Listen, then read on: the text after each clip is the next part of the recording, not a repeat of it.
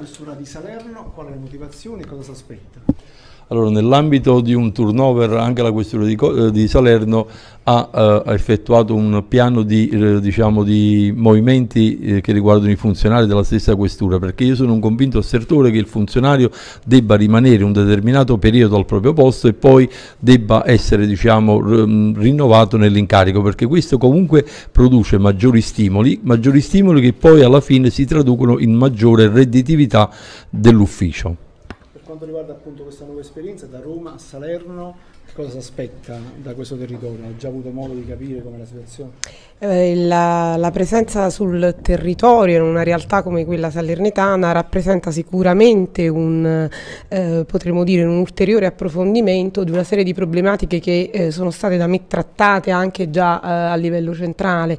Eh, da Roma io in realtà facevo parte della direzione centrale della Polizia di Prevenzione che coordina tutte le Digos sul territorio. Ehm, l'aspetto diciamo, più rilevante è eh, vedere l'applicazione concreta di una serie di eh, necessità che eh, sono dell'intero territorio nazionale, quindi rappresenta da un certo punto di vista un eh, approfondimento specifico su un territorio qual è quello ehm, diciamo salernitano e quindi io sono molto contenta di approfondire questo aspetto. Subito al lavoro possiamo dire domani c'è il concerto di Tiziano Ferro. Eh, sicuramente subito al lavoro c'è Giffoni, eh, abbiamo anche personalità che visto il periodo estivo e vista la bellissima costiera sono quasi tutti presenti eh, qui da noi e quindi eh, anche dal punto di vista dell'ordine pubblico rappresenta una sfida che mi accingo a compiere sicuramente con sforzi anche fisici potremmo dire eh, visto un trasferimento molto rapido nel, nell'ambito di una settimana è avvenuto quindi diciamo ci sono delle tempistiche.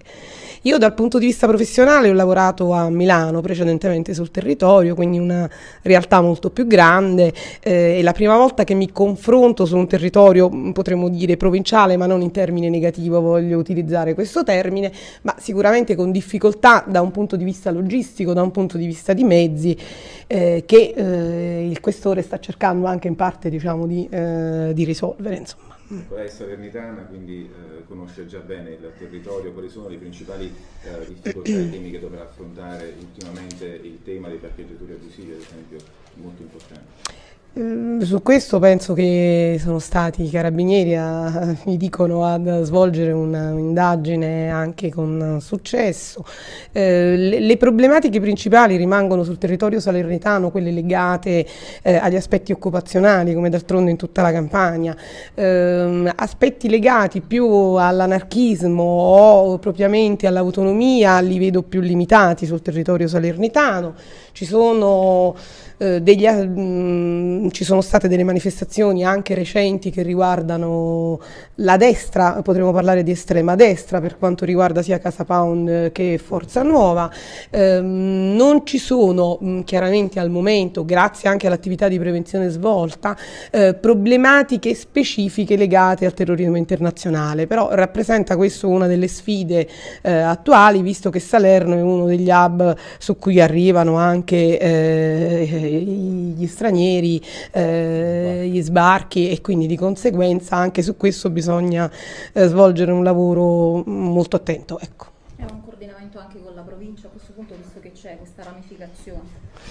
Beh, I coordinamenti sono fondamentali perché eh, funzioni eh, un'attività è necessario il coordinamento con la provincia, è necessario il coordinamento con la regione e col comune soprattutto suppongo eh, e anche con la Croce Rossa che ci sta dando una validissima mano in questo periodo visto che utilizziamo una struttura che è della Croce Rossa dove appoggiare eh, gli immigrati nella prima fase di eh, identificazione. Insomma. Fondamentale anche la comunicazione delle attività eh, della questura con il nuovo responsabile. Assolutamente sì, eh, in, in, la, in, linea con le politiche ministeriali noi abbiamo eh, sempre sperimentato con mia, il mio predecessore, la dottoressa Acconcia, eh, che eh, ringrazio per i preziosi suggerimenti che mi ha dato per svolgere al meglio questo lavoro e, e gli indirizzi ministeriali sono di una, quelli di un'amministrazione aperta, trasparente e, e sempre pronta a dialogare con tutte eh, le, le, parti della, della società. Eh, io ehm, con voi, con alcuni di voi abbiamo già un rapporto pregresso per i tanti servizi eh, che eh, ci siamo trovati a condividere noi dal punto di vista professionale, voi dal punto di vista dell'informazione. Eh, mi auguro che questa collaborazione sia ancora, sia ancora più stretta per il, per il futuro. Grazie.